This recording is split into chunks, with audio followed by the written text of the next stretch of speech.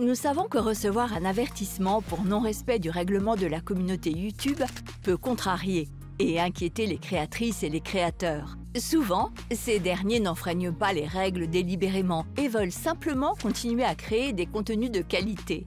C'est pourquoi nous vous proposons des options pour mieux comprendre notre règlement et résoudre les mises en garde en cas de non-respect. Découvrons chacune de ces options et ce qu'elles impliquent pour vous et votre chaîne. Commençons par un bref rappel. Le règlement de la communauté YouTube décrit les types de contenus autorisés et interdits sur la plateforme. Il regroupe de nombreuses règles, comme celles sur l'usurpation d'identité, la sécurité des enfants ou encore le harcèlement. Il s'applique à tous les types de contenus sur YouTube et nous aide à protéger l'ensemble de la communauté. Voyons maintenant ce qu'il se passe en cas de non-respect du règlement de la communauté YouTube et les options qui s'offrent à vous.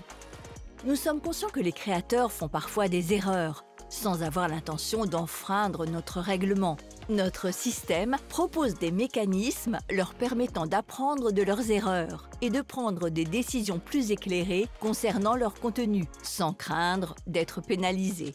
Si vous ne respectez pas le règlement de la communauté, vous recevez tout d'abord une mise en garde. Vous pouvez la consulter pour savoir quelles règles vous avez enfreintes et ce que vous pouvez faire. Vous avez trois options. Option 1. Vous pouvez suivre une formation sur le règlement. La mise en garde expirera au bout de 90 jours si vous n'enfreignez pas à nouveau la même règle pendant cette période. Option 2. Vous pouvez faire appel de la mise en garde si vous pensez qu'il s'agit d'une erreur. Option 3. Si vous choisissez de ne rien faire, la mise en garde restera associée à votre chaîne indéfiniment. Notez que ces options offrent de la flexibilité. Vous pouvez choisir de suivre la formation et de faire appel, ou encore de suivre la formation après que votre appel est refusé. Si vous choisissez de ne pas faire appel, ou si votre appel est refusé, nous vous encourageons vivement à suivre la formation, car elle présente ses avantages. Elle permet de supprimer potentiellement la mise en garde actuelle sur votre chaîne, elle vous offre aussi la possibilité de recevoir une autre mise en garde si vous enfreignez une autre règle du règlement de la communauté. Vous avez ainsi l'opportunité de mieux comprendre le règlement et d'éviter les restrictions sur votre compte à l'avenir. Prenons un exemple. Vous enfreignez une des règles du règlement de la communauté pour la première fois. Vous recevez une mise en garde et vous disposez de trois options. Si vous suivez la formation et que vous n'enfreignez aucune autre règle pendant 90 jours, votre mise en garde expire et votre chaîne est de nouveau en règle. Si vous suivez la formation et que vous enfreignez une autre règle dans les 90 jours, vous recevez une nouvelle mise en garde et vous pouvez suivre une formation spécifique à cette règle. Si vous choisissez de ne rien faire et de ne pas suivre la formation, tout nouveau cas de non-respect de n'importe quelle règle entraînera un avertissement pour non-respect du règlement de la communauté. Notez que si vous enfreignez à nouveau la même règle dans les 90 jours qui suivent la mise en garde vous recevrez un avertissement pour non-respect du règlement de la communauté, même si vous avez suivi la formation.